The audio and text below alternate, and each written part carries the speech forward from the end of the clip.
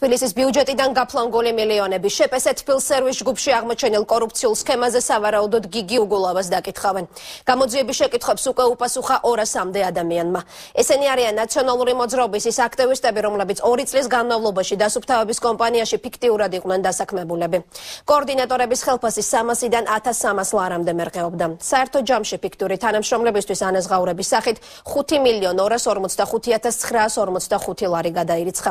თბილ სერვის ჯგუფის საშტატო განრიგს ხელს გიგი უგოლავა აწერს. კორუფციული სქემის დეტალები და პარტიული მეზოვეების ჩვენებები. გიორგი ნიორაძე მუშაობდა თემაზე. ნაციონალური მოძრაობის კოორდინატორს ნანული შანყულაშვილს საგებული არჩევნების შემდეგ ნახევარითვის ხელფასი პარტიამ არ გადაურიცხა. უკვე 4 თვეა უმუშევარია ისევე როგორც ნაცმოძრაობის დანარჩენი 763 აქტივისტი, რომლებიც 2 წლის განმავლობაში შუბს თბილ სერვისის საზოგადოებასთან ურთიერთობის სამსახურის შტატზე ირიცხებოდა.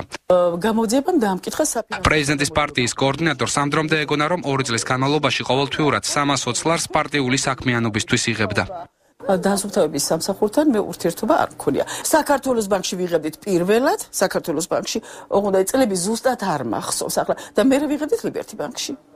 მე ჩვენებაშიც მივეცი რომ დაკითხვაშიც ვაღიარე, რომ ნამდვილად ასე იყო. ფინანსთა სამინისტროს საგამოძიებო სამსახურმა შპს თბილსერვისის შტატიანი თანამშრომლების ჩვენებები გამოაქვეყნა.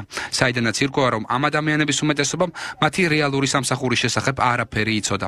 შპს თბილსერვისის ფიქტიური თანამშრომლებიდან უკვე 200 კაცია დაკითხული. გამოძიების მტკიცებით, ხელფასი პარტიული იერარქიებისა და დამსახურების მიხედვით 320 ლარიდან 1300 ლარამდე ფიქსირდებოდა. საშტატო განრიგი და სახელფასო ფონდი ქალაქის მერის გიგი უგულავას დამტკიცებულია.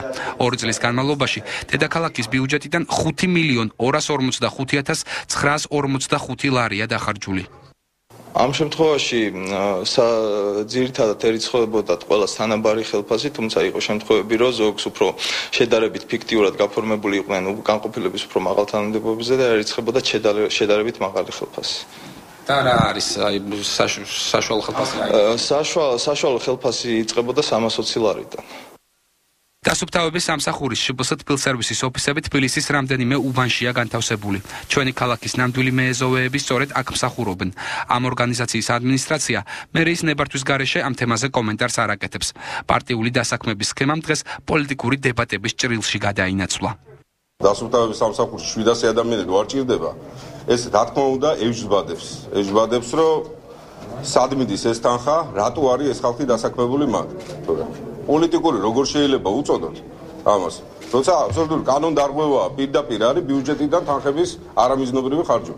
დღეს ასეულობით ამ ადამიანს იბარებს პროკურატურა საქართველოს სხვადასხვა რეგიონში ატარებს დაკითხვას და ეძებს ამ ამ მასალას საიმისოდ რომ ბუნებრივია კიდევ ერთი საქმე შეიკეროს.